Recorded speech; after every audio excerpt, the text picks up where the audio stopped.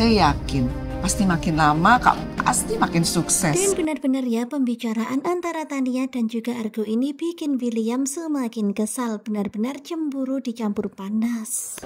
Makin lama aku makin gak tahan dengan keberadaan Argo. Aku harus kasih tahu mama siapa Argo sebenarnya. Ya pastinya nggak suka banget ya Tania selalu saja mengagung-agungkan Argo, memuji-muji Argo dan hal itu sangat-sangat nggak disukai William. Saya bisa mengatasi masalah kamu itu. Sementara itu di tempat yang berbeda lagi-lagi keributan terjadi antara Iris dan juga Jisoo dan di tempat itu ada Roy yang menawarkan bantuan untuk Iris. Tapi apa kamu mau ngedate sama saya sebagai balasannya? Tetapi kalian bisa lihat ya ternyata oh ternyata ada syaratnya. Nampaknya Roy itu lagi bucin banget ya sama Iris sampai-sampai ngajak ngedate.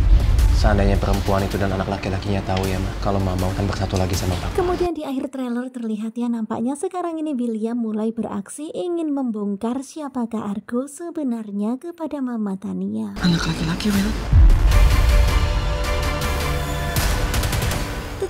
Saja clue yang diberikan oleh William itu membuat Mama Tania, kemudian Salma dan juga Argo pun jadi keheranan.